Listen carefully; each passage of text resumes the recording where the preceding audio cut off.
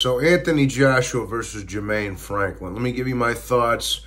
And I'll give you this fight doesn't really need a prediction video, but give you my thoughts with the prediction, you know, so you guys can see where I'm coming from.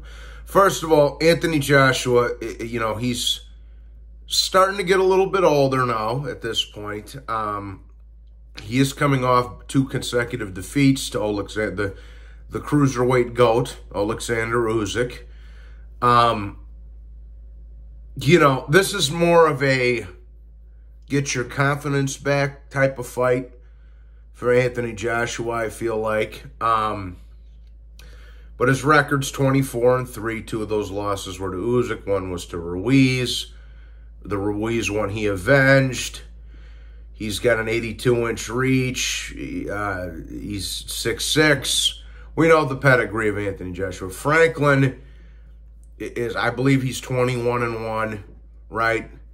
With that only loss coming from a very close split decision, to, or majority decision, I believe it was, to Dillian Whyte. And a lot of people felt Jermaine Franklin won that fight. Um, I, I thought it was close, personally, the fight between Franklin and Whyte. I wasn't bitching about either guy getting the decision, but I did feel like Dillian Whyte did get a little bit of a home cooking type of scorecards over there in Old England during that fight.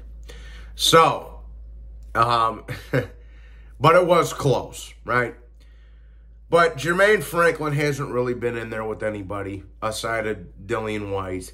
The other name that jumps out at me that uh, Jermaine Franklin had fought was Jerry Forrest, and that was a split decision, and Jerry Forrest is no no, didn't set the world on fire exactly. You know what I'm saying? I mean, he did give, and to Jerry Forrest's credit, he did give Zhang, the big Chinaman, a good run for his money, dropped him, etc., so forth. So, but this is more or less, you know, Anthony Joshua's got four inches of height on him. He's got five inches of reach on him.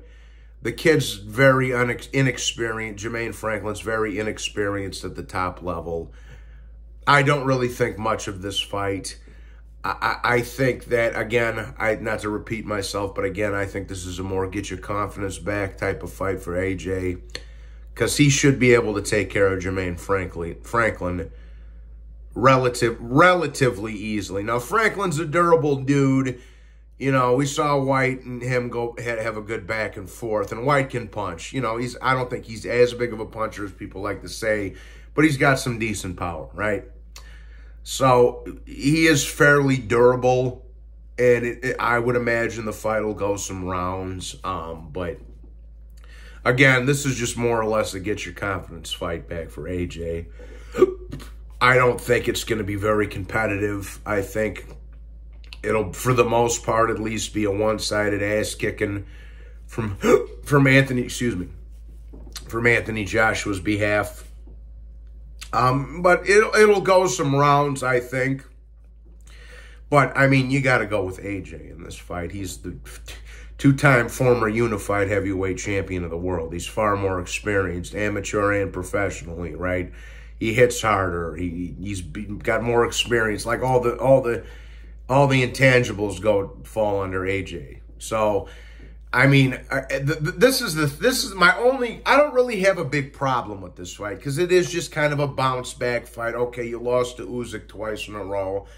Franklin's fairly durable. The only gripe I have with this fight, like get a tune up in, get your confidence back. I don't, I don't have an issue with that. I really don't have an issue with that. But the only gripe I say I, I, I say that I do have is why in the fuck wouldn't you just fight Dillian Whyte for your bounce back fight? Because you should be, at this point, you should be able to mop the floor with Dillian Whyte. So why wouldn't you just fight the winner of that fight? You understand what I'm saying? Either that, and then maybe, because this is what the, this is the thing. They're making this a tune-up for a tune-up because he's going to fight Franklin and then he's probably going to fight a Dillian Whyte rematch. So it's like a tune-up for a tune-up. That's my only gripe with this fight, really. Like, how many how many does he need? I mean, I'd, I'd have rather seen him, like, fight Dillian Whyte and then fight an Andy Ruiz trilogy or something like that. But they want to take a little bit of a softer touch to get AJ's mojo back, I suppose. So I don't really have a bit, but that if I had a gripe with the fight, That would be it. You know, you understand what I'm saying?